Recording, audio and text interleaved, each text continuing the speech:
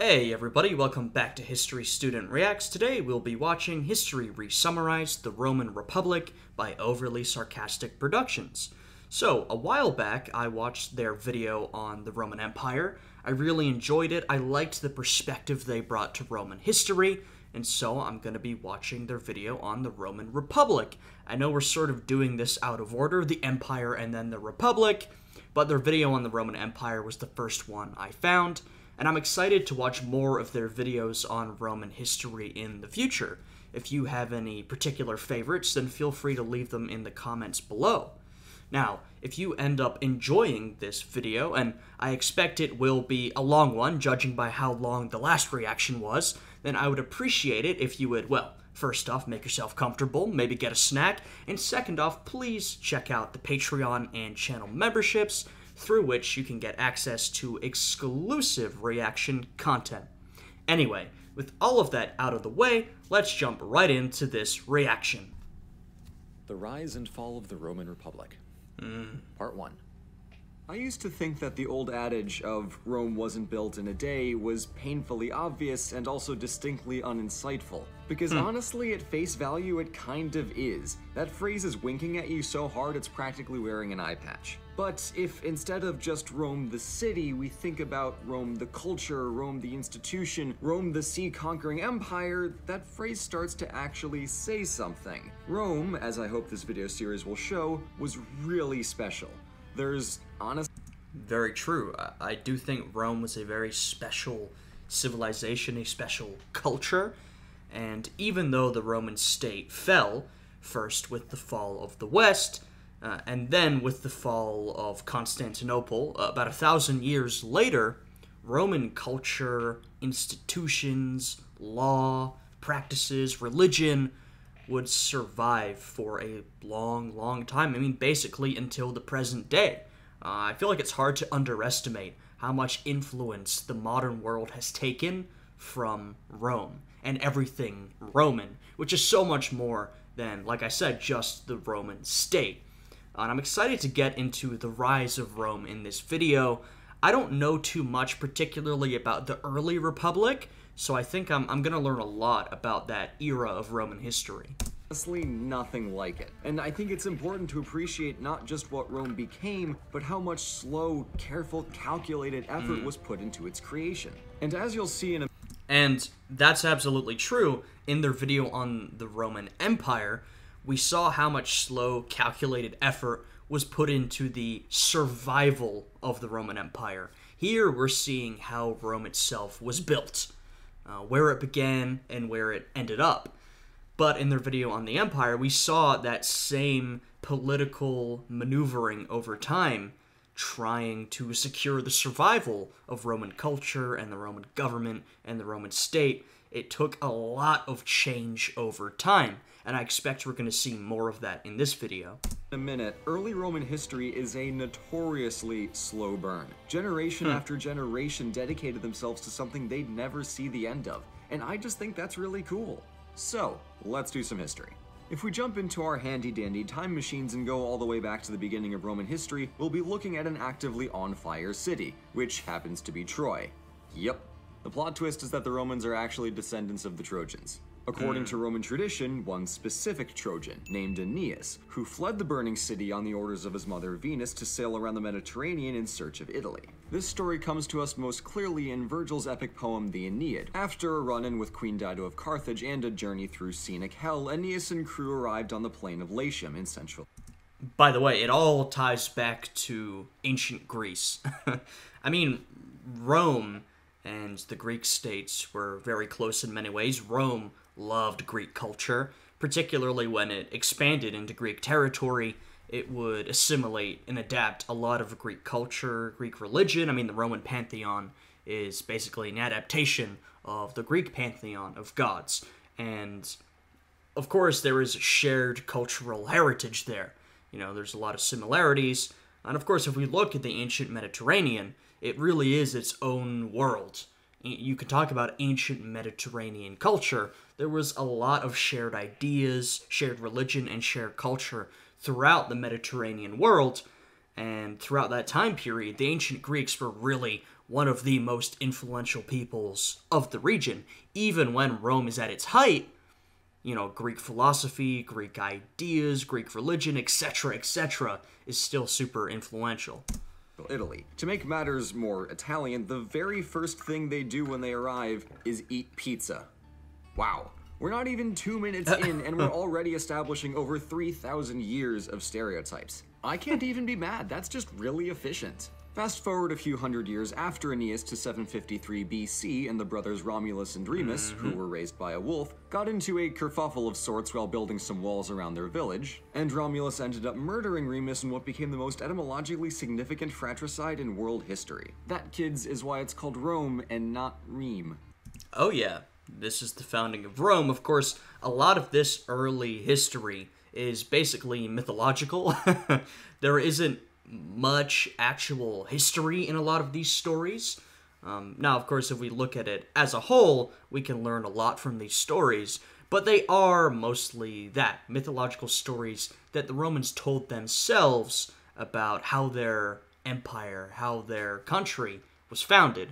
And it's very interesting that, you know, the Romans saw themselves as descendants of the Trojans. They were basically an invading people entering Italy, and that their city itself was founded on fratricide, a murder.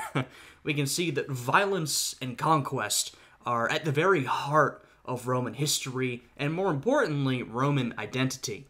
Anyway, Romulus claimed kingship over his newly walled village, and over the next two and a half centuries, seven kings oversaw Rome's transformation from backwater town to moderately cool city. And Yes, and this is the first era, sort of the era of kings, or as they've called it here, the Kingdom of Rome.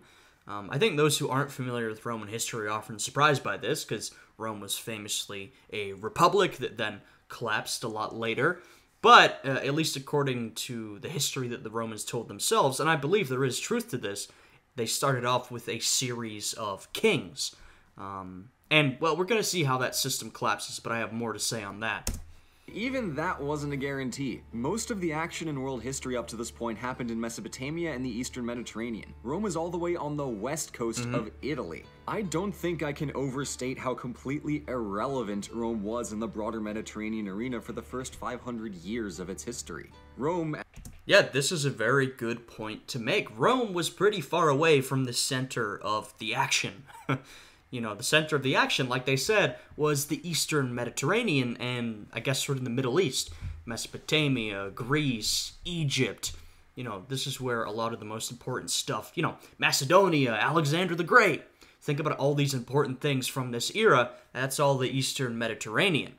Um, and in fact, what shifts the power westwards is Rome itself. Rome grows more and more powerful, and they sh- sort of shift the balance of power in the Mediterranean more towards the center, towards Italy.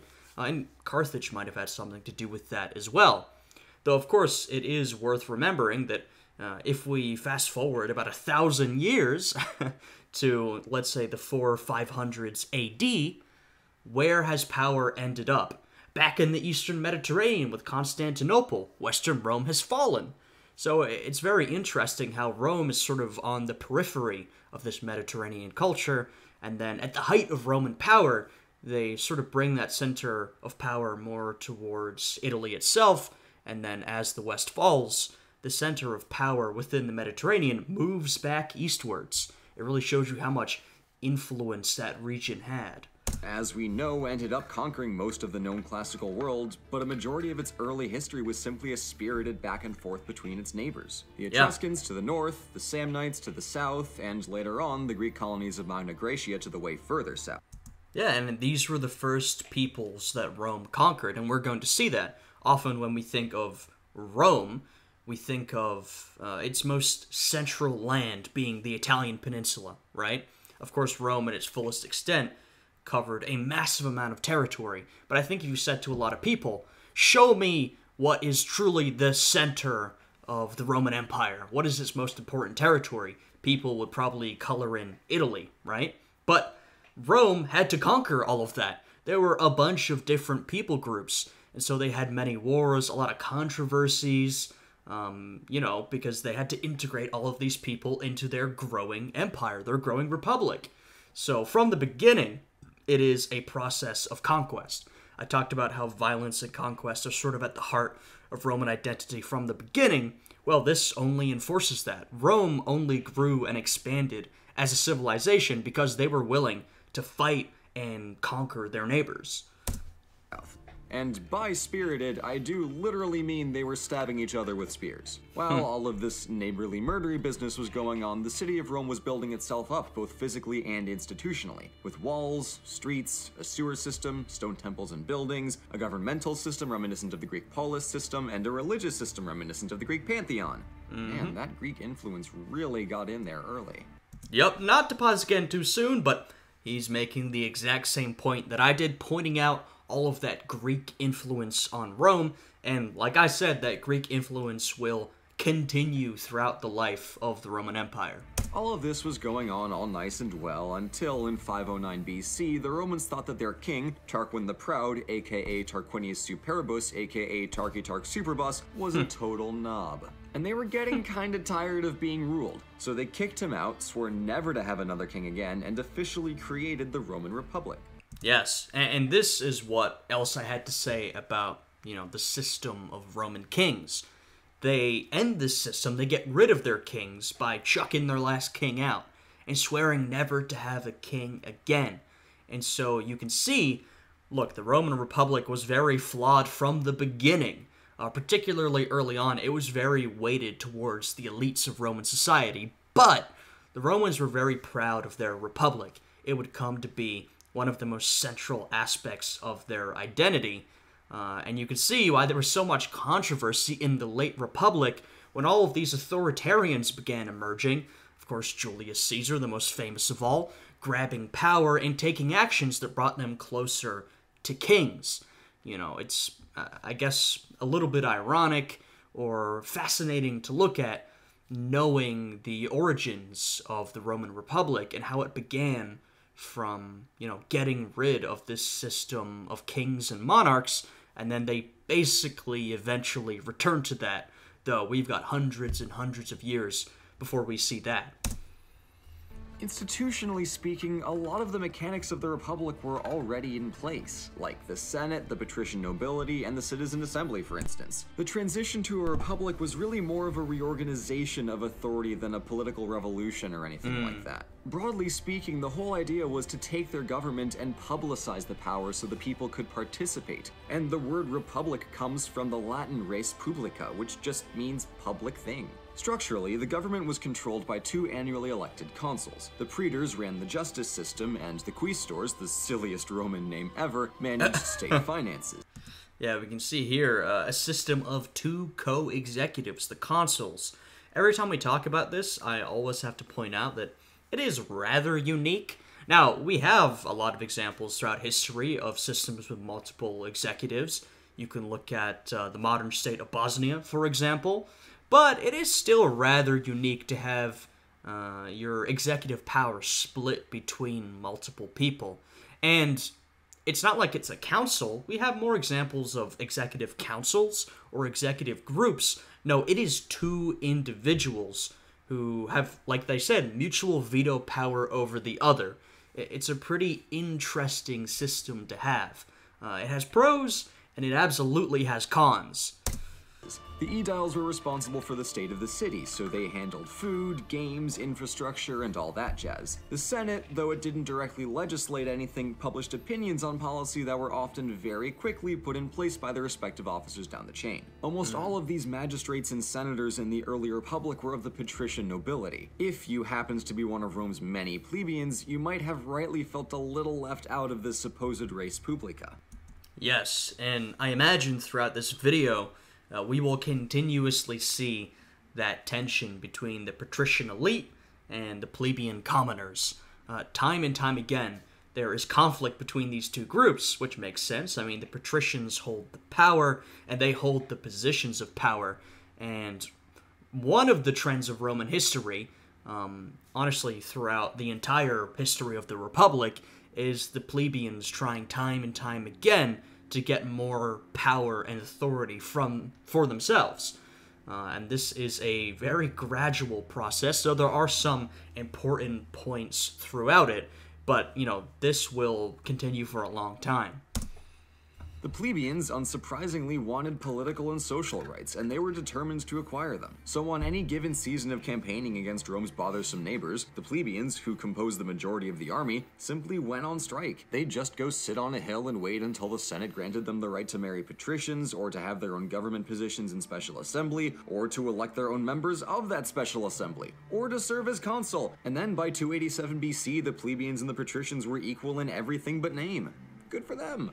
287 BC. so as we can see, this process took a long time. Like I said, pretty gradual.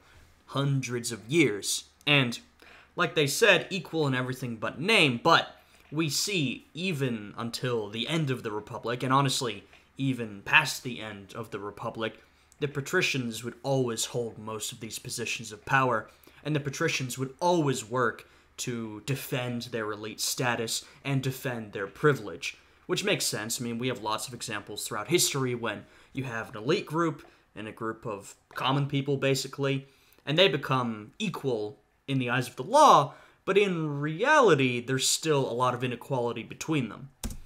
Institutionally, the Roman Republic simultaneously had elements of a monarchy, an aristocracy, and a democracy. This Yeah. mixed constitution and its flexibility in governance, according to the historian Polybius, was one of Rome's greatest strengths, and I'm inclined to agree. Rome's institutions were its backbone for over a thousand years, and that's darn impressive. Okay, enough of the politicky stuff. Back to the stabby stuff. Now, like hmm. I said, early Roman Republican history is a notoriously slow burn. The struggle for hmm. plebeians' rights took over two centuries, and conquering the Italian peninsula was similarly slow going. Rome was I mean, it really is remarkably slow compared to later Roman growth. I mean, we're talking about hundreds of years where we see Rome only slowly expanding throughout Italy. Slowly, the plebeians get themselves rights and, and Roman society evolves. And then, in the era of sort of the late Republic into the Empire, we see this massive and rapid expansion of Roman territory, at least compared to, to this period of Roman history. was intent on being careful, taking small steps, and taking its time. Recall hmm. how, in the aftermath of both the Macedonian and Mongol conquests, when you go too far, too fast, things tend to fracture. Rome spent Yeah. most of the 4th and early 3rd centuries fighting with various neighbors and working its way down to only the Bay of Naples. That's a But that's actually a good point that uh, OSP are making, which is it might have been beneficial to Rome's long term survival that they didn't expand as quickly as, say, an Alexander the Great. You know, Alexander expanded his empire massively. He died and it all fell apart. The Romans' process of expansion was far, far, far longer.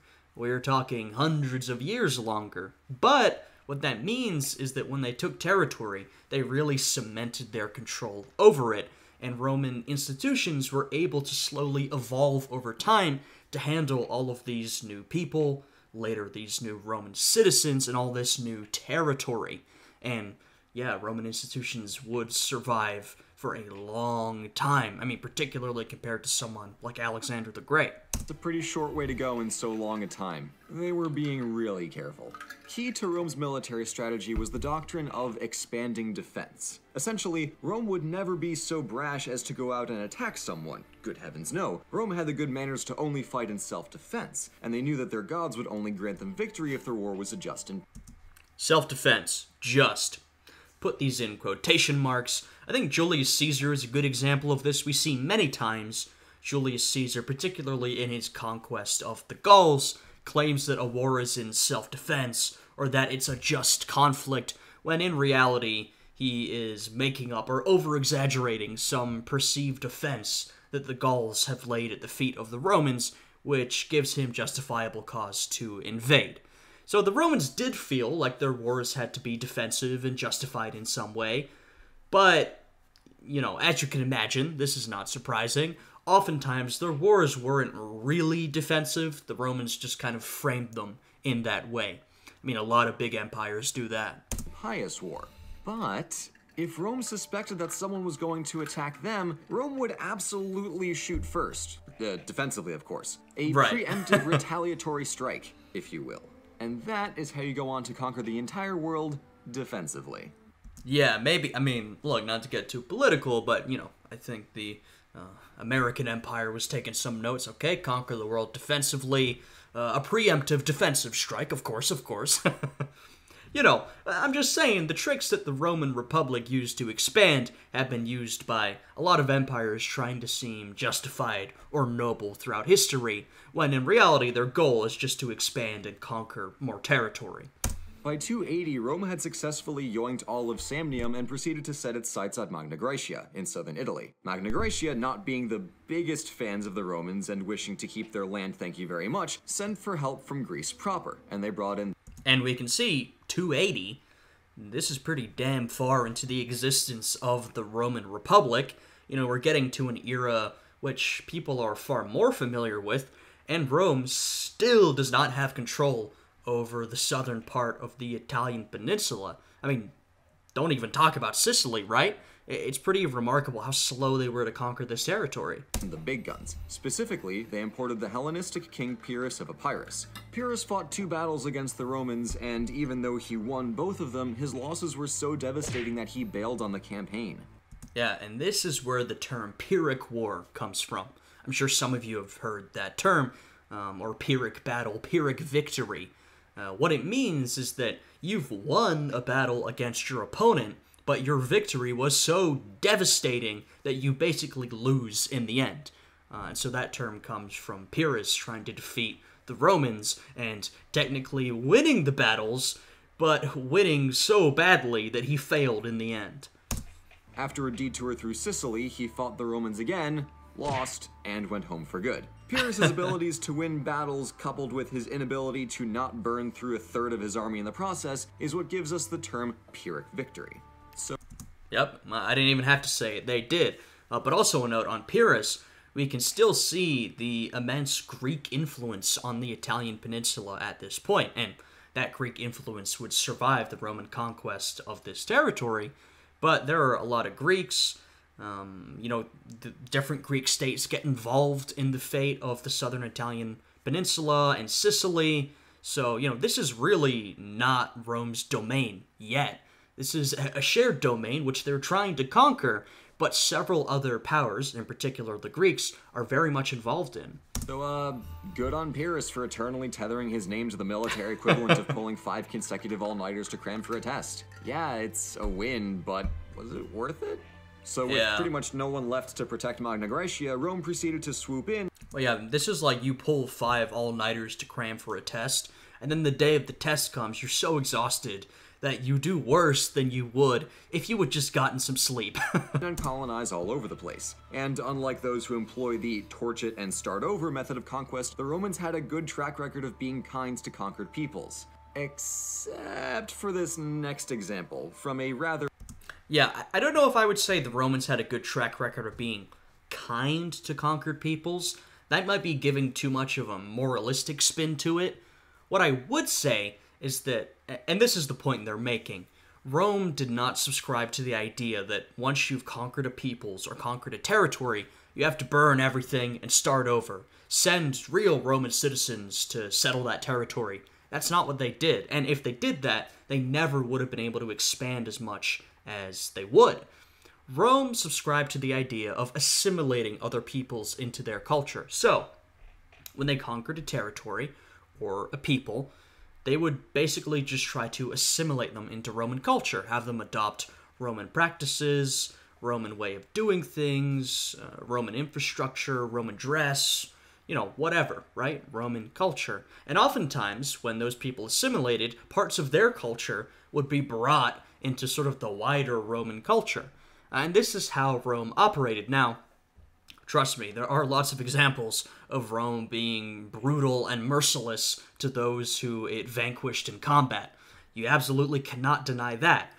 But one of the reasons Rome was able to expand so far and wide was because they decided to assimilate peoples instead of just destroy them uh, and settle areas with Romans. Rather salty chapter in Roman history the Punic Wars against Carthage. Part 2. The First War can be roughly attributed to a miscommunication with some Sicilian pirates. While Carthage and Rome may have been destined to fight each other at some point or another, they ultimately came to blows on account of both being called into Sicily to settle a fight mm-hmm. between the And we saw this in Oversimplified's videos on the Punic Wars, so you can check them out. My reactions to them if you want a little more information. city of Syracuse and some rowdy pirates. Rome and Carthage kind of just tripped face first into war and spent most of the 23 year long war not actually fighting each other. Yeah. The issue was Carthage had been a long standing naval power in the Mediterranean, but Rome had no navy to speak of. So Rome really needed a navy, and quick. This is another of many instances of Rome adapting to situations really well. Say what you will about Rome, they were immensely clever and had a great habit of taking good ideas, methods, technologies, and techniques from other cultures and using them to great effect. This is very true.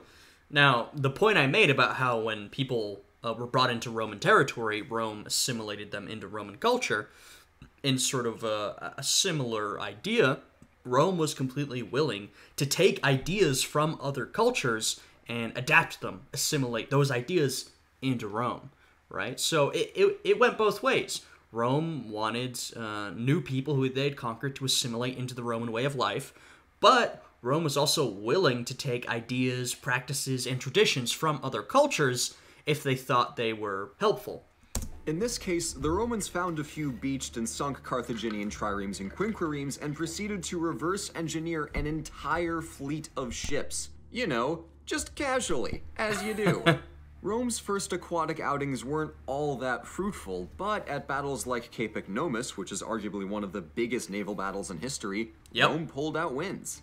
Ultimately, Rome won the war, claiming Sicily for itself and forcing heavy reparations on Carthage. Yeah, and like I said, we saw this in the oversimplified videos, but Rome's strength in this uh, aspect really came from its ability to steal ideas from Carthage, how to build these ships, and then put their immense resources and building acumen to work building these fleets. And they built multiple fleets because at the beginning they really didn't have the experience to use them. Their fleets kept getting sunk either by the Carthaginians or by bad weather, but, you know, through Rome determination, they kept at it. They also decided to take Corsica and Sardinia because, screw you Carthage, these are mine now. In the decades following, the Carthaginians, led by the general Hamilcar Barca, colonized the seaside coast of Spain. Hamilcar, father of Hannibal, who we will see soon. Uh, and as you can see, they took uh, a lot of Spanish territory, and sort of soonish, uh, the province of Hispania will become one of the more important Roman provinces, I would say, or at least a very notable province of Roman territory. Largely for the purposes of mining silver to pay their Roman reparations. Little did Rome know, Hamilcar, his son Hannibal, and the other Carthaginians in Spain were furious over losing Sicily, Corsica, and Sardinia, and had been casually scheming to completely destroy Rome for almost two whole decades. In 219 BC, Hannibal sacked the Roman allied Saguntum in Spain, Yeah, so Hamilcar conquered and kind of settled down in Spain, uh, and that's where Hannibal grew up. That was Hamilcar and Hannibal's base of power was Spain, and they were far more interested in defeating the Romans than I think the Carthaginian state even was. Uh, I mean, look, Carthage wanted to bring Rome down a peg. They had been beaten last time, but it was really Hannibal uh, and his father Ha- Hamilcar and their family who really held a grudge against Rome. and Rome, defensively of course, declared war. Hannibal, the madman, proceeded to rather famously Leroy Jenkins his way across the goddamn Alps with over Yeah, this is true. It, it was pretty remarkable. Uh, quick note we will be starting our reaction series on Hannibal relatively soon, maybe in the next week or two. So, hey, stay tuned for that. That's going to be a good one. Uh, I'm very excited to get into Hannibal's conquests, his battles against the Romans, because he was truly brilliant, and we're going to see a little bit of that here. over 40,000 soldiers and 37 elephants. Elephants! And while elephants aren't particularly scary to us, if you're an ancient Roman who's never seen an elephant before, that thing is a four legged giant with two spears and a snake coming out of its face. Oh, yeah. Bottom line, they're monsters. The Romans thought they were monsters. Terrifying. Granted, most of Hannibal's elephants died while crossing the Alps, perhaps unsurprisingly, but it doesn't take a lot of elephants to have a scary amount of elephant on hmm. the battlefield. I genuinely can't convey how viscerally terrifying the mere mention of Hannibal's name would have been to a Roman. Anyway, after arriving in Italy, Yeah, well, we're about to see why Hannibal absolutely terrorized the still relatively young Roman state. When I say young, I know Rome's existed for hundreds of years at this point, but I guess immature is the best word. Rome is sort of entering into its uh, the height of the republic, but it's not quite there yet. It's still a little immature. Uh, it, it holds the Italian peninsula and, and some of the related islands, but it hasn't expanded further. So, yeah, Hannibal was terrifying to this still rather immature empire, uh, and he really came close at times to completely destroying Rome. It was really only due to the absolute determination of Rome and the Roman people to keep going that they even survived. I think many other cultures, many other empires would have crumbled at this point. It's remarkable that Rome made it past Hannibal's Italian campaign. Hannibal demonstrated his tactical brilliance by immediately winning two battles in northern Italy through guerrilla and ambush tactics. Hannibal and his armies would proceed to stay in Italy, effectively behind enemy lines with next to no means of supply or reinforcement, for 16 years. The 16. Carthaginians went up and down the peninsula, setting fire to farms left and right, hoping above all else for Rome to simply surrender. Two years Yep. into the campaign, Hannibal said, Alright, screw this, I'm gonna destroy the entire Roman army, and proceeded to make plans for his next battle at the Roman supply depot at Cannae in southern Italy. At the battle, the Carthaginians advanced in a U shape with Can I? Even though this is a more general video on the Roman Republic, we always have to go into more specific detail about Cannae. Uh, I I reacted to Historia Civilis' video on Cannae. I. I'm certain we're gonna go deep into detail about Cannae in our series on Hannibal. It's just one of the most impressive battles of all time. 40,000 infantry forming the front line and 10,000 cavalry on the wings. The Romans, however, had almost twice as big an army, so mm-hmm. they felt pretty good about their chances. The armies met, and as the fighting progressed, the center of the Carthaginian line fell back, and the Romans pushed forward, hoping to break the retreating line. Except, at that moment when they all rushed in, the Carthaginians' African infantry and famed Numidian cavalry advanced on the flanks and effectively enveloped the whole Roman army. From there, it was a bloodbath. The Carthaginians managed to outflank and surround the Roman army, even though they were outnumbered almost two to one. That's why it's so remarkable. Also, shout out to the Numidian cavalry. They will be a scourge to Rome for a while. They are known in this period as one of the best cavalries around the world, I think. Estimates are all over the place, but the gist is that most of the 80,000 strong Roman army was killed outright and the rest were imprisoned. The Yeah. slaughter went on until nightfall, and in one version of the story I've heard, the Carthaginians only started taking prisoners because their arms got tired from all the killing. It was the single greatest defeat that Rome ever suffered in its history. And Hannibal hoped that a shattered and dismayed Rome, having lost 16 legions and the entire south of Italy, would surrender 16 legions. I mean, that is that's a lot at any time in Roman history, frankly, but particularly at this time, that is an immense amount of manpower. Hannibal has absolutely crippled Rome. But does Rome surrender? Does it stop fighting? This is the remarkable thing about it. No, it does not. at once.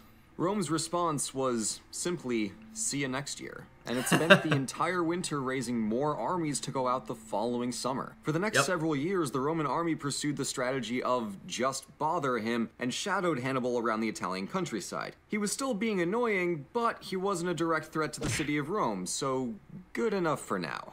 But jumping back, can we take a Yeah, and there's a big question about why Hannibal never marched on Rome. I honestly don't know the answer. Maybe some of you have some insight on that. But there's a lot of, you know, historical what ifs. What if Hannibal had marched on Rome? What if he had conquered the city or burned it to the ground? I don't know. And I don't I don't know why he didn't. Um, but some of you might have something to say on that. Second to appreciate the sheer quintessential Roman badassery it takes to hear that you lost at least 50,000 soldiers and then turn around and tell the guy who killed them to shove it and wait for round two? Because holy crap, that takes some serious coleones. Yeah, though I think there is kind of two sides to this. I mean, look, I think it's as impressive as the next person that Rome took all of that and kept going. That is quintessentially Roman. This is one of the reasons why Rome survived for so long and became such a powerful empire. I would say, just to note, maybe to play a bit of devil's advocate, there was another side to that, which is how many lives are you needlessly wasting? Thousands, tens of thousands of lives. Uh, and at some point, is it worth it? You know, I think for a lot of us, if we had such a devastating war today, we might say, at some point, yeah, it's not worth it anymore. If you lose this many men, tens of thousands, hundreds of thousands, you know, it's not worth this battle because you're losing such a massive amount of people, a massive human tragedy, a massive loss of life. So that is sort of the other side of this determination to keep going. Um, but uh, it's impressive regardless. Serious and massively suicidal Coleones. And speaking of, in 211, the young Publius Cornelius Scipio took up a generalship for the Spanish campaign, oh. which was widely considered to be a suicide mission. Yep, Scipio. So he's sort of the Roman counterpart of Hannibal. I mean, I and most other people think Hannibal is far more impressive in his accomplishments, but Scipio is Rome's answer to Hannibal, and he's sent out in what is thought of as a suicide mission. He is a very young guy, relatively unproven, uh, the Roman government doesn't really think he's going to achieve his goals. They think he's probably going to die, but at this point, they've been dealing with Hannibal ravaging Italy for years, so they're willing to take a chance on just about anybody. To the surprise of basically everyone, he spent the next five years successfully decarthagifying Spain to great effect. Following yep. his campaign, he hatched a brilliant plan to take the fight back to Carthage. The hmm. Senate, thinking this was another suicide mission, told him he could do it, but they wouldn't finance his armies. so Scipio raised a couple legions in Italy and Sicily and hopped over to North Africa.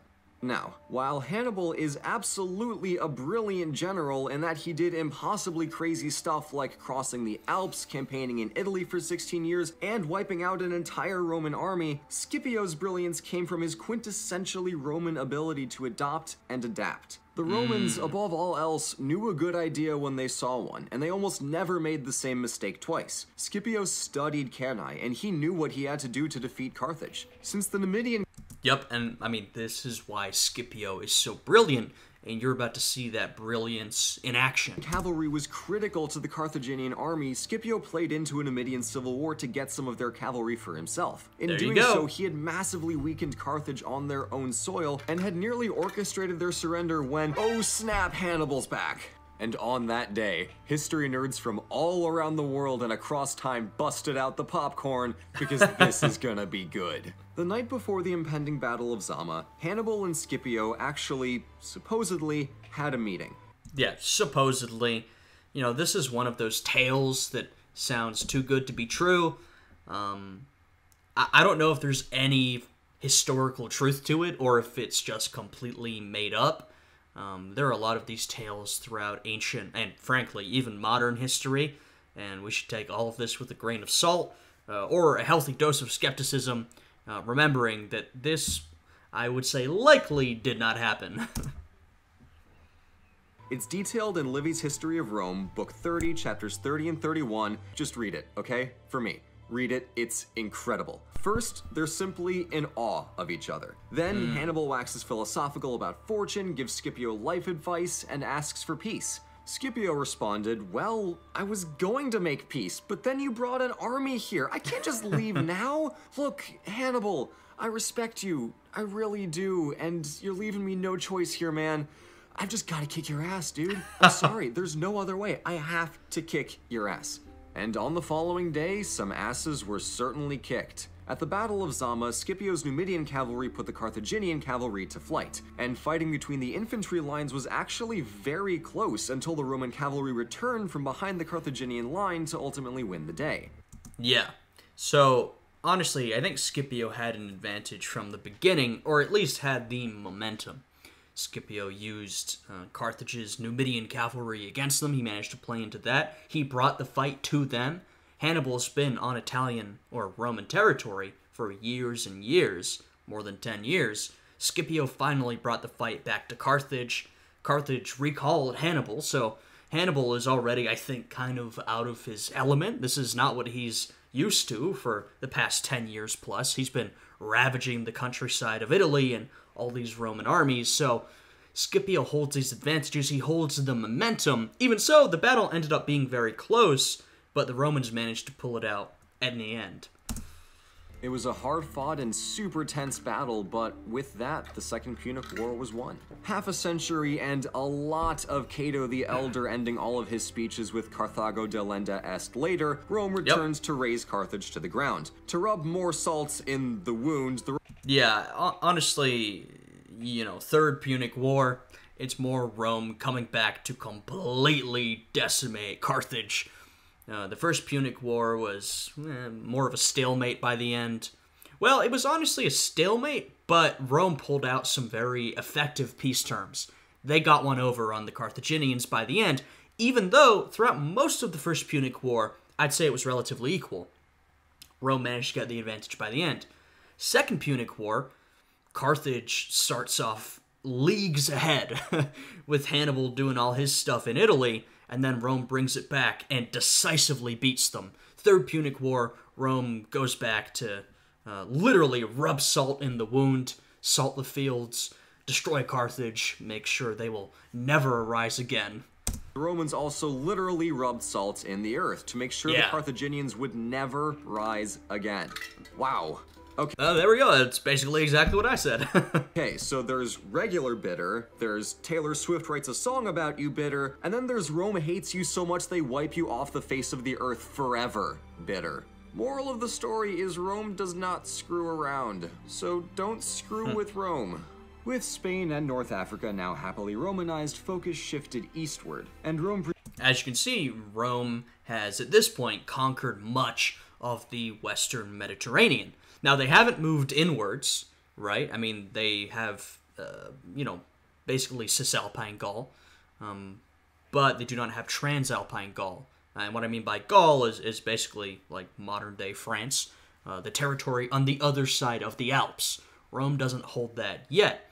They've got some of the coastal areas of the Western Mediterranean, uh, prominently Hispania, uh, and so now they're shifting to the Eastern Mediterranean proceeded to clean up the squabbling and stagnating Hellenistic kingdoms from the aftermath of Alexander the Short-Sighted's campaigns. the Macedonians had helped Carthage in the Punic Wars, and Rome considered that sufficient grounds for bespearment. And bespearment, of course, is a word that I made up for the act of getting stabbed with a spear.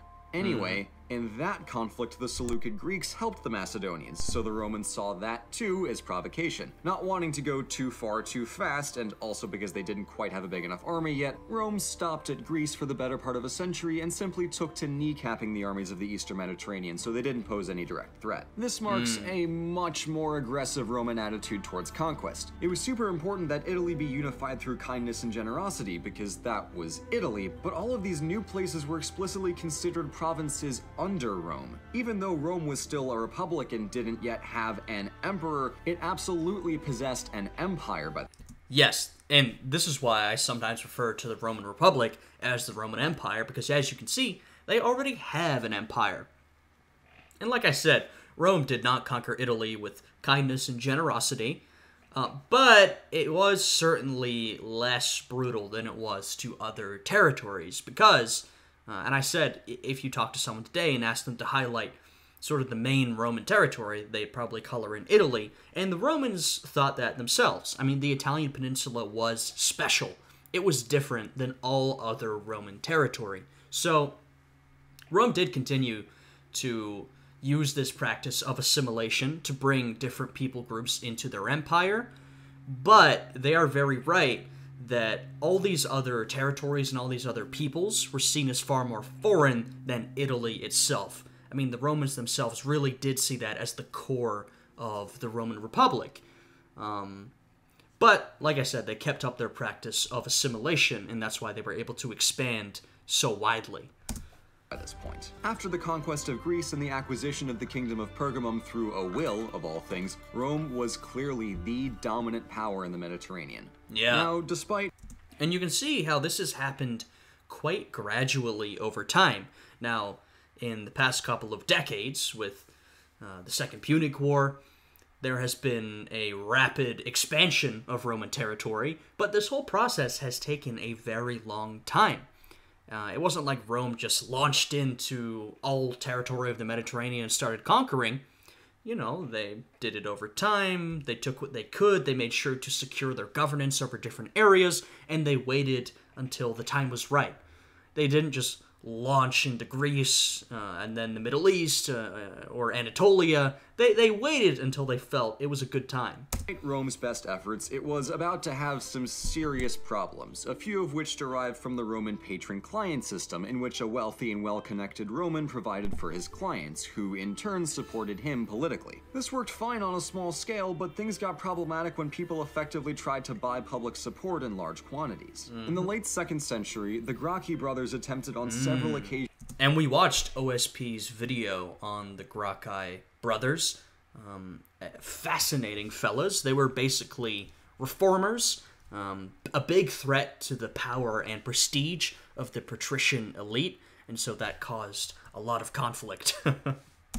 occasions to redistribute land to their supporters, among several other reforms, and when Tiberius Gracchus tried to run for re-election as tribune, he was assassinated. A decade mm-hmm. later, Gaius Gracchus and his allies were also assassinated.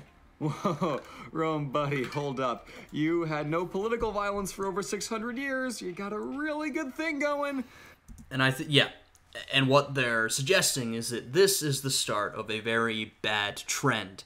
And it does kind of seem like this trend started with the Gracchi brothers.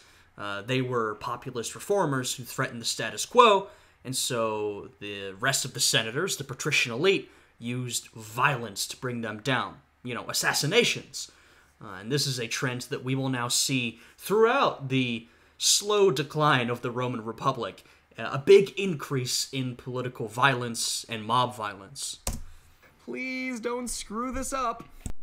Oh, wow, yeah, they really screw this one up. Well, there you go. You can see it on screen right now. the Roman civil wars.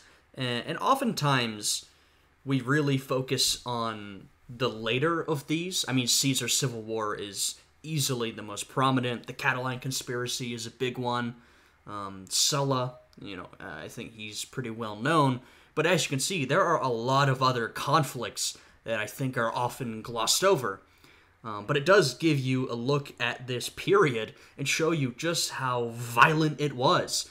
I mean, there was almost constant warfare going on from, you know, I mean, honestly, from the Gracchi brothers when a lot of this violence started until, you know, the end of the Republic. don't they? Jeez. Yikes, where do we start? Okay, so, first there are three mass slave revolts in Sicily and Italy. Then Yep. there's the Social War, where most of Italy revolted against Rome, after which all Italians were granted full citizenship. And let's also not forget the Ca- And and this is why we talk about the social war. Italy was seen as the core of the Roman Republic, but, you know, don't think that it was entirely equal either. The Romans still saw themselves above the other people groups of the Italian peninsula. they just liked them more than they did uh, other people throughout their growing empire. But the social war did, you know, make a big step in equalizing relations across Italy.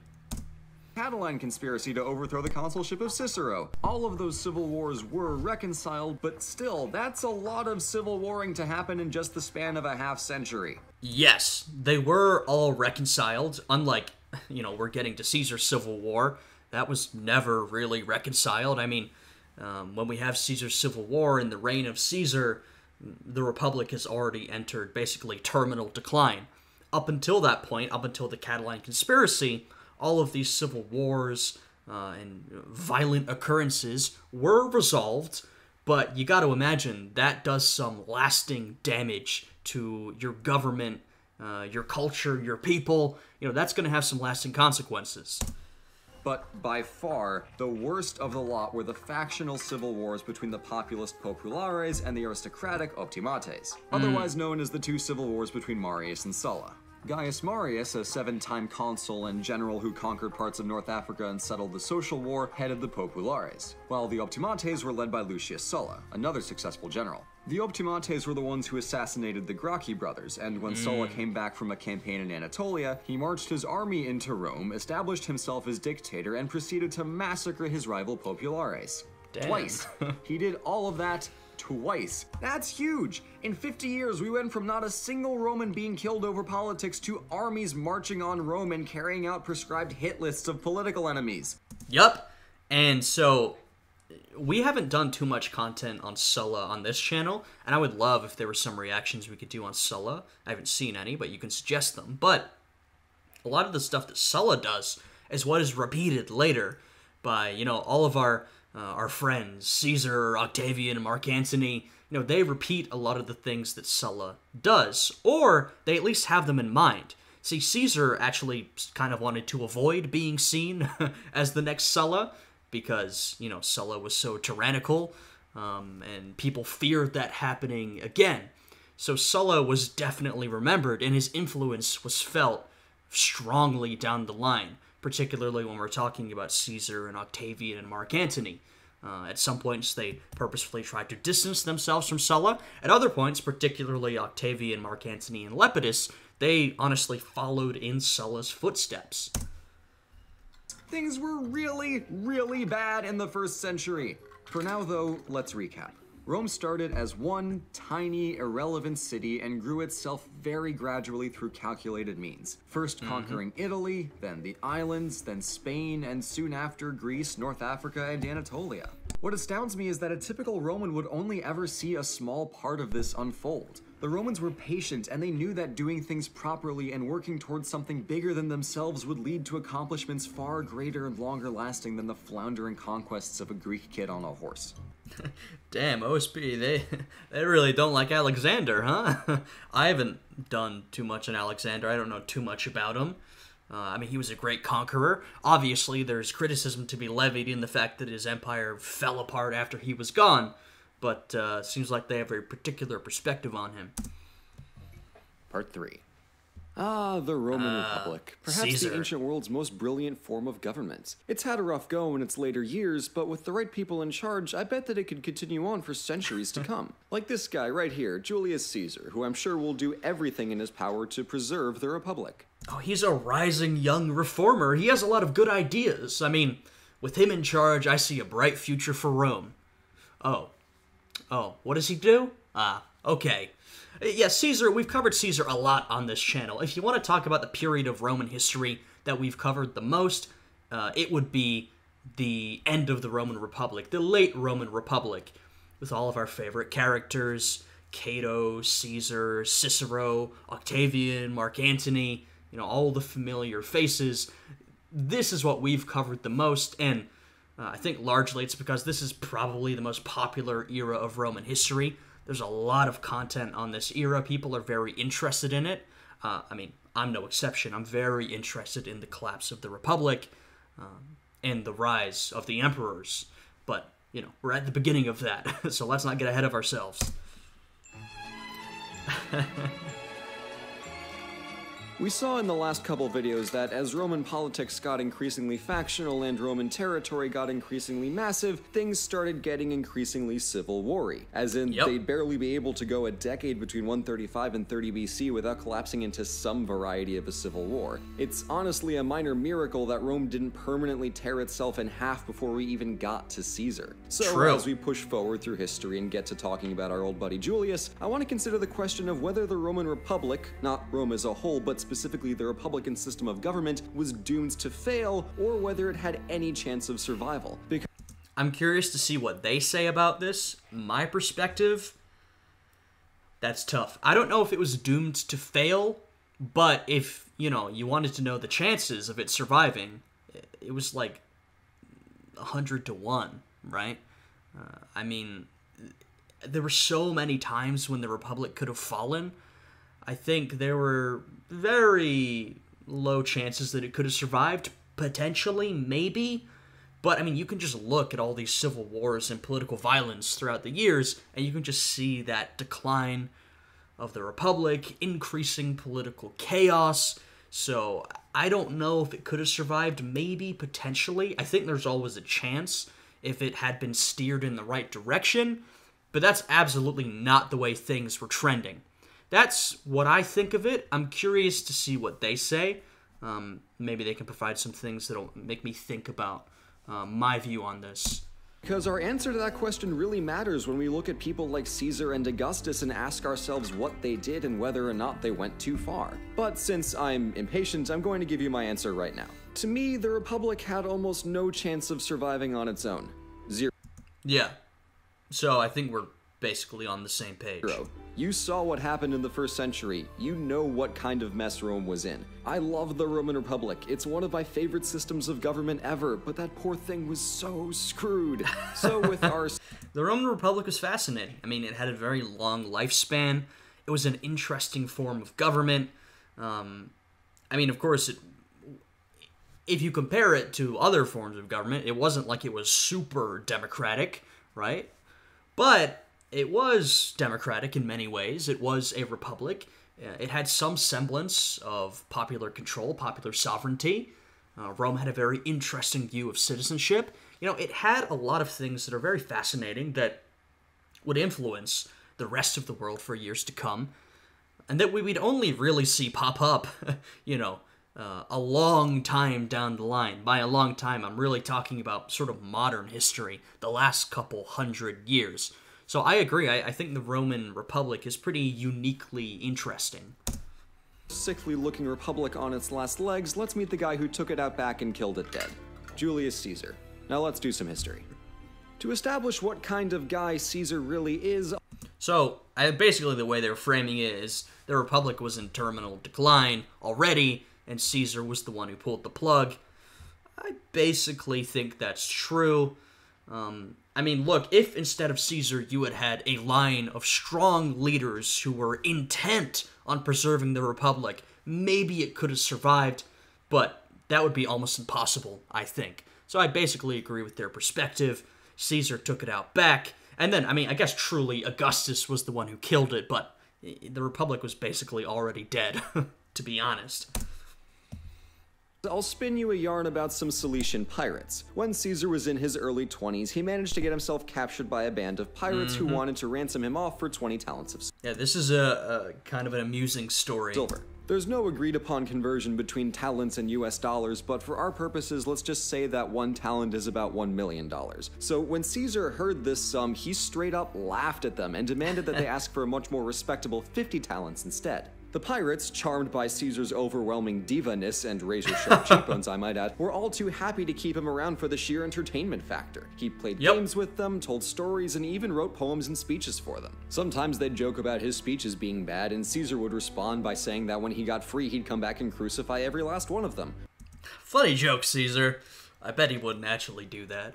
But this story, and once again, I don't know how true this is. This is one that I've heard many times. It's very amusing. But it does give us an insight into Caesar's character, his charisma, his ability to command the respect of others. You know, these are things that would be very important to Caesar's career and the rest of his life. Which the pirates apparently thought was hilarious. Eventually, the pirates did get their 50 talents, so they let Caesar go. And then about five seconds later, Caesar came back with a bunch of ships and arrested all of them, casually Yep. taking his 50 talents back. He brought the pirates to the provincial governor, but since he didn't really seem to care all that much, Caesar took matters into his own hands and took the high road by keeping his promise, and uh, crucified all of them. Yep. Pretty remarkable. Uh, at the same time, this story shows Caesar's charisma, his ability to get on with people, command their respect. Uh, they thought he was just joking when he said that. It also shows Caesar can be very brutal, and if he promises to do something, he will keep that promise. He will come back and crucify you, uh, even if you thought uh, you're just lightly joking about it. He's a man of his word, and he is willing to do what it takes. Uh, so I think this story is so popular, whether true or not, I'm not sure, because it highlights these important facets of Caesar's character. Fun! Moral of the story is Caesar cares a lot about his image. He's amazingly charismatic. He's not afraid to take mm-hmm. matters into his own hands if he needs Yep. to, and he does not screw around. On to Yep. more historically significant matters, our boy Gaius Julius Caesar was a well to do nobleman from a prestigious family that traced its ancestry back to the epic hero Aeneas and his mother Venus. However, Caesar had a chip on his Yes, he came from an important family that, I mean, of course, he would only make more important through his actions. shoulder because his dad was never consul. You see, in Roman culture, the concept of nobilitas was rooted in the idea that you can inherit excellence, but you have to confirm it by doing excellent things in the present. So, mm-hmm. unlike in the Middle Ages and the Renaissance and the Enlightenment and the Industrial Revolution and the early modern period, you couldn't just coast by on familial prestige. You actually had to, you know, do something for it. And Yeah, it's a very interesting way of looking at things, and I'm glad they framed it in that manner. Um, it still sounds, it's of course a little off putting to, I think, a lot of us who would rather have pure meritocracy, but it's this idea that you can inherit some form of excellence, but you have to prove it. And to be fair, that's a lot better than what we see throughout most of history. They pointed out the, the feudal era, uh, honestly, all the way up until the modern era, we can look at nepotism. I think they're right, uh, particularly if we look at, say, feudal Europe. Um, you didn't have to prove that you were worthy of being a landed aristocrat. That was just inherited. And of course, a- lot of stuff was inherited in Roman society too connections, family name. Um, so I don't want to gloss over that, but I think they are right that you had to achieve something impressive yourself for you to be well known, respected. Um, so, you know, there is an element of meritocracy there. And honestly, that's a good descriptor for the Roman Republic as a whole. There were certainly these inherited aspects, aristocracy, stuff that would be more uh, familiar to the feudal system that would come afterwards, but there was an important element of meritocracy um, that a lot of societies don't have at all. So it's interesting. in ancient Rome. Caesar's dad not being consul was a big deal, so his primary goal in life was to confirm his nobilitas by just being consul. To do it, he struck a deal with two other prominent Romans Crassus, the richest man in Rome, and Pompey, Rome's most accomplished general. Yes, the money, the face, the muscle. That's honestly a good way of describing it. We have the first triumvirate. It's a remarkable political alliance, but one that makes sense when you think about it. You have Crassus. He's the money, as they put it there. He can fund anything the two other guys need, but he's not very popular. Uh, he's seemingly not very charismatic. He doesn't have a lot of um, political power or reputation on his own, separate from his money. You've got Pompey.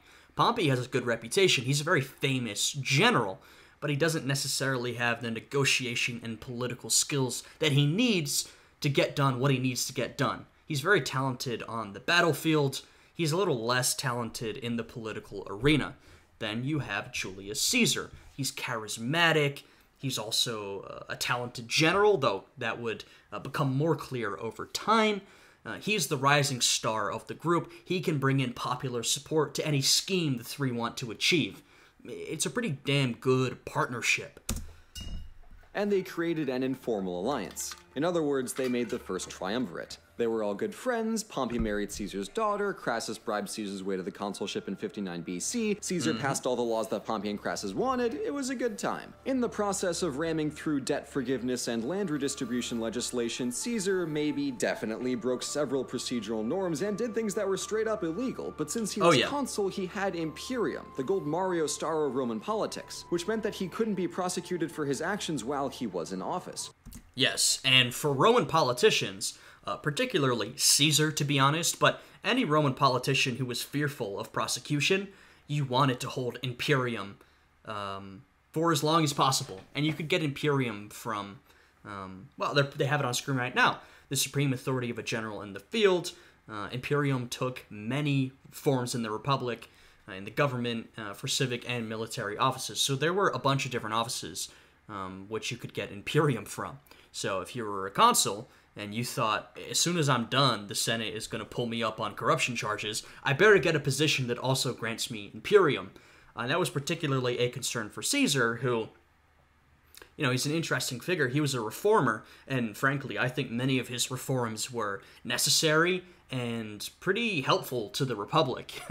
uh, and a lot of people liked them. They were pretty popular amongst the public, but he was not one for procedure. He was breaking the Senate's rules, disregarding, uh, you know, the traditional way of doing things, so that the patrician elite were not very fond of him. So Caesar had to worry about being prosecuted in his future regularly overriding the veto of your co-consul on the principle of because I said so, and filling the city with legionaries to dissuade your political opponents may be definite no-nos in the eyes of the Roman elite, but no one could really do anything about it. Anyway, yeah. for Caesar's year in power, he was safe, but once that consulship and his imperium expired, Caesar had a big target on his back, so he needed mm-hmm. to find a way to keep his imperium until he was allowed to run for consul again 10 years later. Well, once again, it's and of course, Caesar was an elite patrician, but he oftentimes had the power of the people behind him. So we are seeing sort of hints of that plebeian versus patrician split, though at this point in Roman history, it's a lot less clear cut than it once was. At one point, it really was the patrician class versus the plebeian class. Both were very firmly defined, they had their own traditions, um, their own rights, etc., etc. At this point, it's a lot more fuzzy, but it is still this idea of you know Caesar supporting the wants of the common people. Not saying he was uh, doing it selflessly. Of course, he had a lot to gain, but he's supporting reforms that are popular with the people versus the interests of the Roman political elite. Um, so, you know, this trend continues. Uh, like I said, this elite versus common trend continues throughout the history of Rome, and of course throughout the history of most, if not all, human societies, frankly. Conveniently, generals also have imperium, so Caesar's next move was to secure himself a governorship of a province and the command of a few legions so he could go around campaigning with all the imperium in the world until he could stand for consul again. Some yep. senators, fearing that Caesar would do literally exactly that, tried to swap his guarantee for governor of a province for essentially governor of the Italian woods. But Pompey and Crassus, again, had enough power to overturn that. Coins and stabby things tend Yeah, I mean, we've seen all of this in Historia Civilis's videos. A bunch of conservative senators made a big stink about how the Roman countryside needs to be taken care of, the woodlands need to be examined. That would be a great job for Caesar to have. Uh, and Caesar, Pompey, and Crassus went, no, he, I'm not doing that. Caesar's not doing that. Give him a real governorship. Give him some provinces. And to get you a lot in life. But here we see just how fragile the Republic really was at this point. Anyone with enough connections and resources could effectively cripple the normal flow of government and steer it in favorable directions for their own benefit. But anyway, yep. Caesar got himself four legions and a cushy governorship in southern Gaul, along with a metric buttload of military imperium to keep him safe, and set about campaigning in Gaul for the next 10 years. It's astounding how much we know in detail about these campaigns, and it's because mm-hmm. Caesar himself wrote extensive commentaries on them. This was critical, as he could justify his continued campaign in Gaul year after year by showing how cool he was and how great of a job he was doing, while also building up support among the Roman people by also showing how cool he was and how great of a job he was doing. Like we said, Caesar was brilliant at politics. And one of the reasons is that Caesar knew how to do PR. He knew how to market himself and his achievements. And that's why he wrote down about uh, wrote down all of his conquests in Gaul, and he sent those back to Rome so everyone could read about how impressive Caesar was and all the territory he was taking and all the, you know, evil Gallic foes he was vanquishing. and we still have a lot of those writings today, though of course it's a bit of a double-edged sword. We have so much information on Caesar's conquests of Gaul, more information than we have on many different events throughout Roman history, which is fantastic, but they're all written by Caesar. so they all come from his perspective and, and are, of course, extremely biased in his favor. So we do have to take everything he says with a massive grain of salt. You know, he always liked to exaggerate the amount of men his enemy had. He liked to downplay his own defeats and make his victories seem more impressive. But it's good that we have the information at all, even in this deeply biased form. Plus, we got a history out of it, so win win yep. win. Alright, so in enough detail that I can still sleep at night, but also in short enough form that this video won't be an hour long, Caesar's. Yeah, well, I couldn't make that promise for this video. We're already past an hour, and we've got a bit to go. campaign went roughly as follows. In 58 BC, Caesar attacked the Helvetii tribe on the pretense that they were attacking an ally of Rome, because remember, Rome would never be so crass as to attack unprovoked. At the end, I mean, yeah, this was the example I used earlier when we talked about Rome wanting to justify its wars as defensive. Caesar's a good example of how that was basically a formality just to make the Romans feel better. Uh, Caesar's conquests were in no way defensive. He was literally conquering a whole group of people, a whole region, and yet managed to frame each individual conflict as somehow defensive or justifiable. End of each year's campaigning season, Caesar left his armies in Gaul and spent the winters in northern Italy. The next year, Caesar went north, won a battle, and got ambushed one time. In 56, Caesar claimed that the Veneti tribe had, quote, revolted from Rome even though they were in Gaul's Finisterre, so, uh, he conquered it. Safe Yep. to say at this point that Caesar functionally considered all of Gaul as already his. Uh, I mean, Rome's. Uh, yeah, and that's what he did. Uh, I mean, Caesar is really one of the most remarkable conquerors Rome ever saw, and that he felt Gaul was basically under his control, and through his actions, that's what he achieved. I mean, he really brought Gaul into the Roman sphere of influence uh, in only a couple of years of campaigning. It, it's pretty remarkable. The next year, Caesar went really hard on the Gaul is Roman thing. He considered Britain and Germany as threats to Gaul and therefore as threats to Rome. So, Yep. in the same year, he bridged the Rhine and attacked some Germans, and he sailed across the English Channel. The And I mean that uh, his conquest of Gaul was impressive enough. I mean, the Romans, of course, were more involved in Gaul, but he Caesar truly established Roman dominion. But even more than that, even more impressive and unprecedented was his, um, you know, forays into Germany, Germania, and Britain. you know, uh, to a lot of Romans, they knew very little about Britain. There was a lot of mystical stuff going around. You know, what is what is up with this island? Who are the people on it? We don't know. Caesar actually landed on it. Now, the expedition was a disaster, um, as they're saying on screen right now. It was pretty terrible, but it was impressive that he went there in the first place, and of course, great propaganda that he could send back. Uh, and same thing with uh, Germany or Germania, as the Romans called it. Um, honestly, throughout Roman history, Germania was a scary place with a bunch of scary barbarians, uh, and bad things happened to Roman generals if they strayed too far into Germania. But just Caesar being there at all, crossing the Rhine, was impressive in itself. Invasion of Britain was honestly a total bust, so the next year he went back with a huge fleet because the man can't leave well enough alone and pushed as far north as the Thames. After his floundering, humiliating scramble on the British beaches the year before, Caesar had to prove that Rome was no pushover to his enemies, to himself, and to his Romans back home. Oh, uh, also, he lost an entire legion to an ambush in the dead of winter. So, uh. Yep. In 53, he went back to Germany and afterwards left half of his bridge still standing in a sort of don't you make me come back there power play. The following year was probably the biggest year of the campaign because. Vercingetorix had unified the remaining Gallic tribes against Rome. After some battle probably one of Caesar's more impressive opponents throughout his life. Vercingetorix, I think, is still remembered pretty fondly.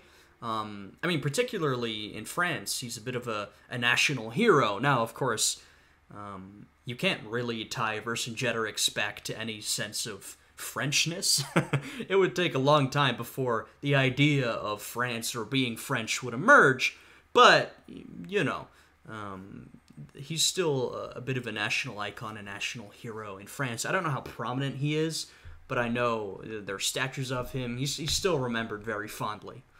Battling back and forth, Vercingetorix camped out on the fortified hill city of Alesia. Now, Caesar needed to surround and wall off the city to starve it out, but there was also the distinct likelihood that he himself got attacked while Yep, another famous battle. We've seen all of these in our Historia Civilis reactions. Um, but I, I do like how we're getting this general history of the Roman Republic. We're stopping at some of the more entertaining and important moments and battles like Cannae and Alesia. Uh, this is pretty prominent and well known for one particular reason that we're about to see. While investing the city. So Caesar needed to fortify both directions. His army built a 10 mile long wall on the inside and a 14 mile long wall Yeah. on the outside. That's Two 24 walls. miles of wall that Caesar threw down because he was determined to take this city. But oh snap, next thing you know, a ton of angry Gauls come down to attack Caesar. So Caesar rolls a natural 20 on his deception check, sends out a cavalry detachment to attack them, but the Gauls think it's the first of an entire Roman reinforcement force, Yep. so they panic and book it right the hell out of there, allowing Caesar to take the city, and just like that, all of Gaul basically belongs to Caesar. Yeah, basically. Uh, and Alesia is famous for the whole two wall situation. But as is displayed there, to be one of these great conquerors throughout history, a Caesar, a Napoleon, an Alexander the Great, uh, of course you need incredible talent, skill, ability. You know what you also need? You need luck. One thing these men all had in spades was luck. Um, you know, I I truly, truly believe that Caesar's a good example of that. Um, there are many instances when Caesar is not performing at his best. Caesar was certainly brilliant, but he wasn't brilliant at every point throughout his life. sometimes he made mistakes, and sometimes he got very lucky. Um, so, you know, you need a little bit of luck to, to rise to that level. Boom! That's how you do a campaign. The next two years were spent cleaning up the last pockets of resistance because, remember, Caesar still had a few years before he's allowed to buy his way to the consulship again. To complicate things, Crassus died while on a campaign in Parthia, and Pompey, feeling Yeah, very disastrous campaign in Parthia. Uh, it was a big shame to the Romans. Uh, it was pretty embarrassing for one of your most prominent citizens to go on this big campaign against the Parthians uh, and then be killed and defeated. So, you know, like I said, that was a shameful event that the Romans remembered. his oaths got the Senate to rescind Caesar's governorship of Gaul. So even the triumvirate, which was supposed to be immune to the vices of factionalism, fell victim to the vices of factionalism. Yep. Uh, And I think oftentimes, in a quest to sort of vilify Caesar as the tyrant that ended the Republic, uh, which, to be fair, I'm not saying he wasn't that. uh, I think Caesar was a complicated and mixed character, but often in a quest to do that, I think Pompey is boosted a little bit. Uh, he's seen as some sort of defender of the Republic against Caesar. Come on, guys. Uh, in, my opinion, from what I know about Pompey, Pompey was in it for himself, his own reputation, his own power. Uh, He was also a fairly authoritarian character. Um, I don't really think, you know, he's the light in comparison to the dark and evil Caesar. Um, I I think that's how Pompey himself might want to frame it. But I think if you look at it that way, that's not really true. Uh, that's not a good sign.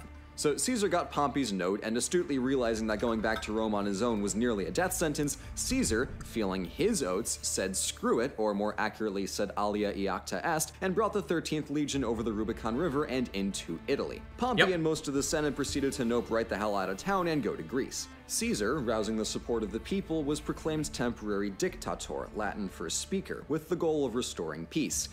like you know pompey flees with most of the senate he is seen as the defender uh, and potential restorer of the roman republic. But my point is that you know if pompey had defeated caesar or if he had prevented caesar from marching or whatever if pompey had been the guy in charge uh, and we saw that when pompey was the guy in charge he was plenty authoritarian too. Uh, he was not the one who would reverse this decline of the roman republic. He would uh, probably accelerate it. Maybe not as much as Caesar did. I mean, Caesar pounded the Republic into the ground, um, but Pompey would not have restored the sanctity of the Republic uh, any more than most other people would have. Even though he was technically the one who started the civil war, but shh, details. And he proceeded to absolutely demolish Pompey's army in Greece at the Battle of Pharsalus against all odds. And then he chased poor old Pompey to the end of the earth, which in this case was Egypt. Pompey sought refuge with the boy King Ptolemy, who owed him a favor, and was likely very displeased to find himself beheaded instead. Terrible way to start a vacation. Anyway, Caesar was absolutely horrified to see Pompey's head, because first of all, he was a fellow Roman citizen, but also Caesar was planning on pardoning him afterwards, not killing him. See, this is a lesson in how healthy communication saves lives. Yeah. And yes, Caesar was very upset to get Pompey's severed head.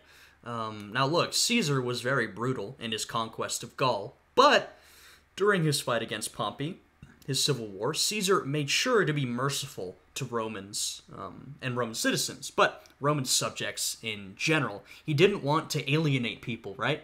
Caesar wanted to rule over the Republic. Calling it a republic is kind of formality at this point, but that's what he wanted to do. And so he wanted to get people on his side. And so he wanted to show his mercy. And, you know, allowing Pompey to live and pardoning him would have been a great show of mercy. And that would have really sent a message. So Caesar was very upset when he found out Pompey had been assassinated. But yeah, Caesar was super big on clemency. That was pretty much his thing, except for, you know, the pirates he crucified. But anyway, in yeah, except for the pirates he crucified and all the villages burnt in Gaul, which they're mentioning at the bottom, the Gauls he killed and enslaved. He was certainly not about clemency at those times, but when fighting against fellow Romans, it is true Caesar was all about clemency and mercy. In addition to pardoning some people, tribes, and even whole towns during the Gallic campaign, Caesar pardoned pretty much Pompey's entire army and all of his supporters who fled to Greece with him. For me personally, that's one of the most important aspects of Caesar's character. And he was certainly a controversial character, but it's important that hmm. we weigh the good with the bad. I agree. I absolutely agree. I'm glad we're getting a pro con list. Like I've said many times before, like you know we've done a lot of content on caesar. Caesar was a complicated and mixed character. Uh, and since he has been so well remembered in history i mean he is one of the main characters uh, particularly in western history. Caesar has been used for a symbol of many things. He's been uh, remembered as a great conqueror as a tyrant as a political reformer. Uh, you know caesar has been slotted into many different slots to mean many different things. And so I absolutely think it's worth looking at the man and his actions uh, and, you know, considering them fairly and looking at the pros and the cons because he was complicated. You know, he's not a monolith. He didn't represent just one thing, he represented many different things, as everybody does. He broke a ton of laws and sold his soul just to become consul, but he made moderate reforms that benefited the people. He killed a lot of Gauls and Romans in the civil wars following his consulship, but he granted clemency wherever he could. And mm-hmm. he basically fashioned himself a king after he was appointed dictator for life, but he yep. was beloved by his people and he used his power to stabilize Rome. All in all, he did do a lot of serious and lasting good for Rome's people, but that good was done through politically devious means for suspiciously power hungry motivations. Yeah, I think that's a good way of framing it. Caesar did a lot of good for the Roman people, but he was always trying to grab more power for himself. You know, Caesar's intentions were almost never, I guess, what you would call pure. But let's be honest, if you're looking at most politicians or leaders throughout history, most of them don't have pure intentions. So I don't think Caesar is unique in that respect. Um, so Caesar is a very complicated character. You absolutely can frame him as a tyrant. Um, and that's how he's framed by many people throughout history. Particularly in the latter years of the Enlightenment, Caesar was often stand in for a tyrant who, you know, had brought down a republic. Uh, and people very much didn't like that.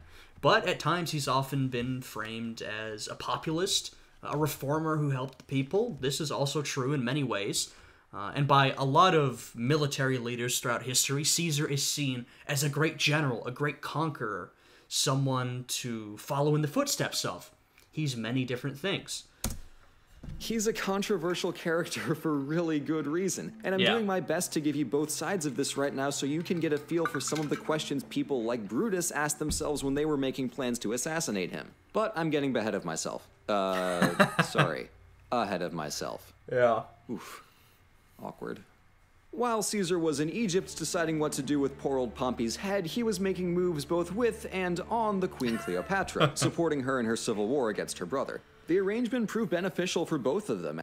Yeah, though Caesar's time in Egypt was pretty disastrous. He honestly almost lost his life uh, when he was himself besieged within Alexandria.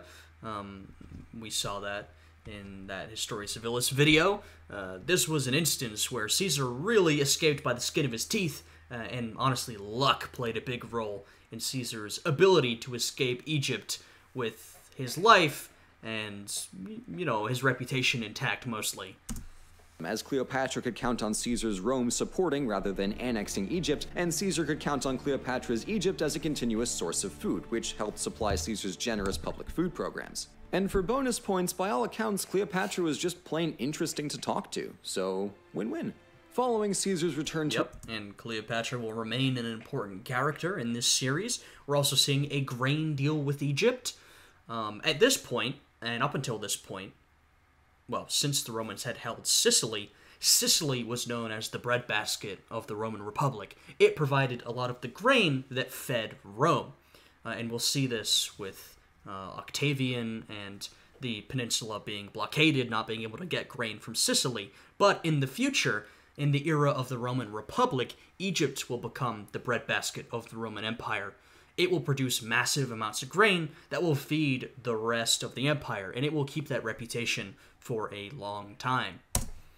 To Rome, his position as dictator was extended to 10 years. During his time as dictator, Caesar managed to instate even more reforms that promoted public welfare, government efficiency, and general stability. For Yeah. one, he limited the political and military power of provincial governors, mostly to stop other people from doing to him what he did to Pompey in the Senate. He also reformed the monstrosity that was the old Roman calendar, Yep, he reformed the Roman calendar and he gave us what is basically the calendar we use today. Now, there have been notable reforms along the way. Um, uh, in particular, uh, at one point there was a big shift, but the calendar that Caesar created is, in many ways, the one that we still use. so well that we still use a version of it today. He also Yep. conducted a census, carried out several building projects, unified the Roman provinces more closely with Italy, and was just all around a really solid leader. Did he pull a lot of super mega illegal stunts to get himself to this point? absolutely. But did he make substantially beneficial reforms that the people loved? Absolutely. Well, we saw, you know, when Caesar was assassinated, there was a lot of um, anger about his authoritarian actions, Caesar basically making himself a king. But when he was assassinated, the people were not happy because Caesar's reforms had been popular. His authoritarian actions hadn't been popular. Um, I mean, particularly not with the Roman elites, but not even with the people. But the reforms that he passed were incredibly popular with the people. And so the people were upset when he was killed. You know, this is sort of the complexity of Caesar. We saw that Caesar went on a big tirade against corruption. You know, he limited corruption within the Roman Empire. Even though, of course, he was extremely corrupt in his own way. I mean, he had never followed the rules. He did everything the way he wanted to do it. But he still passed those reforms. So, a complicated guy. Okay, this is the part that makes me sad and angry. In March of 44 BC, Caesar was named dictator for life, and this made a lot of senators really antsy because at this point he was basically king, and Rome still very specifically didn't like kings. On the Yes. Ides of March, and, and not just the Roman senators, the people didn't like kings. They talk about this event where Mark Antony offers Caesar a crown and Caesar refuses it. Um, there's some speculation over did Caesar always intend to refuse it or was he waiting for the reaction of the crowd? We don't know. But when Mark Antony offered Caesar the crown, the reaction of the crowd was bad. they did not want Caesar to be a king. They were not happy. So, a complex figure once again. March, Brutus, Cassius, and about 60 other senators surrounded and killed Caesar in the theater of Pompey. Ironic. Caesar's last moments are rather disputed, but my take on it is that when he saw Brutus, his friend, whom he had pardoned after Pharsalus was a part of the conspiracy, he accepted his fate and fell to the ground, covering his face with his toga. I hmm. don't think Caesar even was eloquent enough to have fancy last words when there were 23 knives simultaneously stabbing him. No one is. The assassins may have fancy Though, as we saw, there were something like 60 around that number of conspirators, maybe more, I can't remember. Uh, most of them just stood around doing nothing, while a small few actually did the stabbing. Um, and a lot of those who did the stabbing stabbed Caesar after he was already dead or on his way to death's door. There were, I think, like four or five who actually landed decisive stab wounds while Caesar was alive and fighting.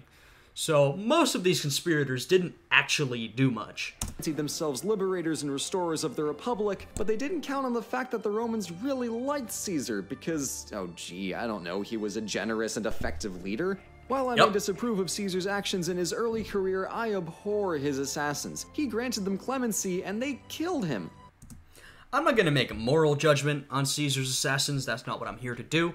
What I will say, I'll make a logistical judgment on them, which is that, you know, they decided to assassinate Caesar because, amongst other things, they wanted to restore the Republic.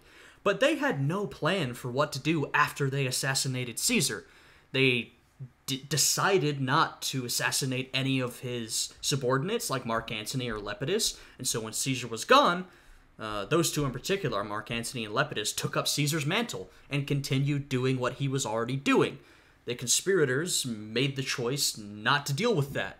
They made the choice not to do a takeover of the government, to institute a new Republican era. They just didn't really think about what they were doing. I mean, they did. They, they had lots of debates, but I, I think they were incredibly naive. They thought just by assassinating Caesar, you know, everyone would come together and we would return to the golden days of the Republic. They needed to do a lot more than that if they wanted to bring back the Republic. Uh, and that was clear because everything went absolutely terribly after they assassinated Caesar. Um, a bunch of authoritarians stepped up to seize power, and the Roman Empire descended into even more political violence and instability. Dante puts Brutus and Cassius in the lowermost pit of hell for betraying their protector, and I'm with Dante on this one. Anyway, that's Caesar. I, I mean, I will say, uh, I said I'm not making a moral judgment, but like on a personal level, if you take all the politics out of it, it was pretty brutal that men like Brutus and Cassius took Caesar's life when they were so close to him. I mean, Brutus in particular had a familial relationship to Caesar. Caesar, in some ways, was a bit of a father figure to him. And so that's pretty brutal, man. you know, that's certainly not a good thing to do to assassinate someone who you have that personal relationship with, regardless of the surrounding politics. Stabbed 23 times and left bleeding out on the floor of the Curia. Brutus and Cassius were able to read the mood in the room well enough to tell that they weren't wanted, so they and a bunch of senators hightailed it to Greece to build up an army. But doesn't Yeah. end too well for the assassins, but I'm already into overtime, so let's wrap this up. In my mind, Caesar killed the Republic long before he was even dictator. He proved how breakable the system was. Let's count it. He bribed his way into office, illegally rammed legislation through the Senate, intimidated his political enemies with threats of force, escaped any and all consequences for his actions on a technicality, commandeered Roman resources for his own prestige and enrichment, marched an entire legion into Rome, and declared war on a fellow Roman for his own political gain. Yeah, so, you know, the Roman Republic was already in deep decline before Caesar, and a lot of the things Caesar did had been done before. But Caesar did them more blatantly, more obviously, and more often than many other people. I mean, Caesar just blatantly uh, abused the system and did whatever he wanted with no regard for procedure or, honestly, most of the time for the will of the Roman Senate. Um, and so I, I agree with what they're laying out here. The entirety of Caesar's main political career was either distinctly unrepublican in character or explicitly illegal. And remember that only after all of that did the Senate name Caesar as dictator for the first time. By the time Caesar was named dictator for life and functionally had become a king, he had long since proved that the Republic was fundamentally broken. For most Yeah. of the Republic's history, its success came from fantastic Roman teamwork. But here, its downfall came primarily from the selfishness of powerful Romans. People realized how incredibly fragile and gameable the institutions of the Republic were when you stretched them across the entire Mediterranean, so basically one of two things could have happened to Rome. Either civil wars continued on and eventually ripped Rome to bits, or something in Rome's government changed to make it less susceptible to all those civil wars in the first place. Basically, it was monarchy or bust at this point, because nothing else could stop the chaos. Well, Yeah, I- mean, if we think about Roman history from this point onwards, the periods of stability will come under men like Caesar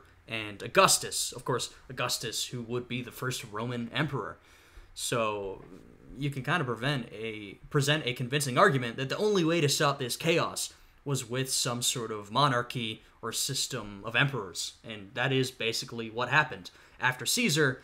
Uh, you know, hi those who came after him, his subordinates, Mark Antony, Octavian, they followed in his footsteps, did what he did, and then, of course, Octavian, who became Augustus, would just take it further.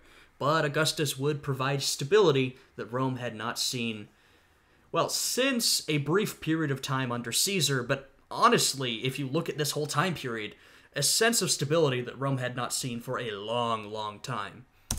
While Augustus becoming emperor down the line was far from a guarantee, Rome's transition from a republic to a monarchy was inevitable if it was to survive. It's a little par. Yeah, I, I, I don't want to use the word inevitable because I'm not sure if some things are, but most things are not actually inevitable. But close to inevitable, maybe. Uh, I mean, I do agree that the decline of the Roman state, the decline of the Roman Republic in particular, was terminal. Something had to change, and it really didn't look like it was going in the direction of more republicanism.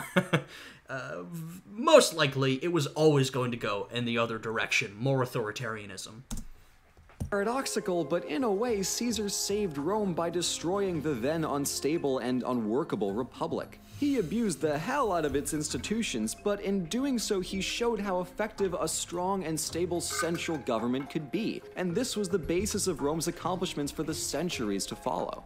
Today, Caesar kills the republic. Next time, Augustus starts an empire. Thank you so much for watching. All right. Um, Okay, I very much enjoyed that one. So we did the Roman Republic um, today, right now. We've already done the Roman Empire. And so I guess the next one on our plate is the Age of Augustus. Um, so that'll be interesting to see because we did kind of cover that in their video on the Roman uh, Empire summarized. But I'm curious to see some more detail on Augustus because I think he's super underrated. He's far more important than people give him credit for. Um, but yeah, I really enjoyed this one.